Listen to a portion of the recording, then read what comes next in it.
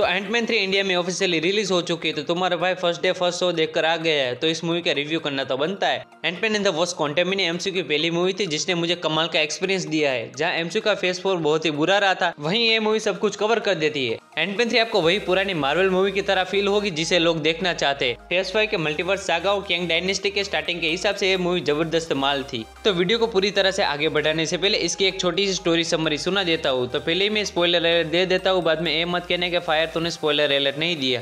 तो मोटा मोटी यही कहानी रहती है कि अपनी कैसेलिंग अब बिगड़ेल बच्ची बन चुकी है, जिसे ठीक तरह से पिम पार्टी के लिए यूज़ करना नहीं आता। पर इसी वजह से वो पुलिस के हाथों पकड़ी जाती है, जिसका शॉट आपने ट्रेलर में भी देखा होगा। एंटमैन और होप एक फ़ेमस एवेंजर के साथ, वो दोनों एक बिजनेसमैन भी बन चुके हैं। लेकिन ये सारी चीज़ें आपको खुशियाँ नहीं दे सकती। किसी को आज भी अफसोस है कि वो अपने डेट के साथ बड़ी नहीं हो सकी। आगे वही फैमिली वाला ड्रामा होता है और बाद में कैसे सबको अपनी न्यू क्वांटम रन सेटेलाइट दिखाती है, जो क्वांटम रन में सिग्नल भेजती है। और इसके बाद मोर्डोक उन सबको क्वांटम रेल में खींच लेता है। और क्वांटम रेल के अंदर जाते ही वो सारे फैमिली मेंबर अलग अलग हो जाते हैं, जिसमें एक टीम में केसी और स्कॉट होते हैं और एक टीम में होप जेनेट और रैंक पिंग होते हैं। और वो दोनों ही ग्रुप एक दूसरे को आपस में ढूंढ रहे और इसी के साथ उनको बाहर जाने के रास्ता भी ढूंढना है। और इसी चीज़ के बीच जेनेट का सामना होता अपने पास से मतलब कैंग द कॉन्करर से। जो कई सालों तक जेनेट को ढूंढ रहा होता है और क्यों ढूंढ रहा था वो बताऊँगा तो बहुत बड़ा स्पॉइलर हो जाएगा। इसलिए मूवी की स्टोरी लाइन यही तक रखते हैं। तो इस मूवी में क्या अच्छा था और क्या बुरा था? तो पहले ही मैं स्क्रिप्ट राइटर और डायरेक्टर की तारीफ़ करना चाहूँगा, क्योंकि उन्होंने स्क्रिप्ट राइटिंग और डायरेक्टिंग आपको कहीं से भी आधी अधूरी नहीं लगती।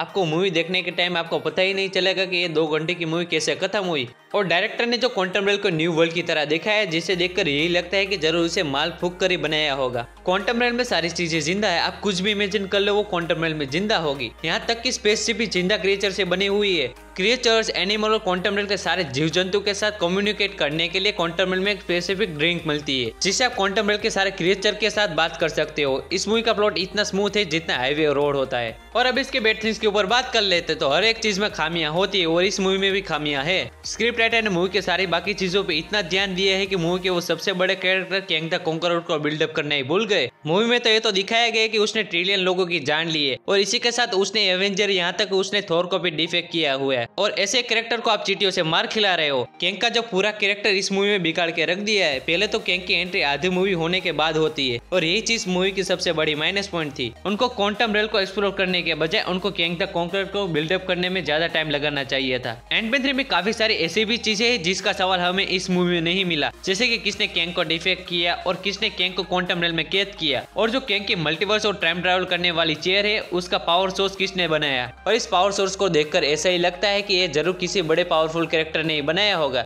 और आखिरी सवाल कैंग किस यूनिवर्स या फ्यूचर से? इसी के साथ मेरी दोनों थियरी वाली वीडियो सच हो गई, जिसमें मैंने एक वीडियो में बताया था कि कैंग कैसे सेलेस्टियल टेक्नोलॉजी यूज़ कर रहा है। और एक वीडियो में मैंने ये बताया था कि कैंग ने कैसे टेन रिंग्स और मिस मार्वल का ब्रेसलेट भी क्वांटम रेल में क्रिएट किया। और ये मेरी दोनों ही video seventy two eighty percent सही थी। तो अब आते हैं कि इस मूवी के एक्टर का काम कैसा था और तो ओवरऑल सभी एक्टर का काम अच्छा ही था, लेकिन सबसे अच्छी एक्टिंग जोनाथन मेजर ने की थी। अगर उनका स्क्रीन टाइम और कैरेक्टर बिल्डअप होता तो उनकी एक्टिंग और भी ज़्यादा निखर के आती। और रही अपनी कैथरीन न्यूटन मतलब अपनी कैसलिंग जिसकी स्क्रीन टाइम ज़्यादा होने के बावजूद उसकी एक्टिंग ठीक ही थी। और बाकी के बचे हुए एक्टर्स के लिए मेरे पास एक ही वर्ड निकलता है।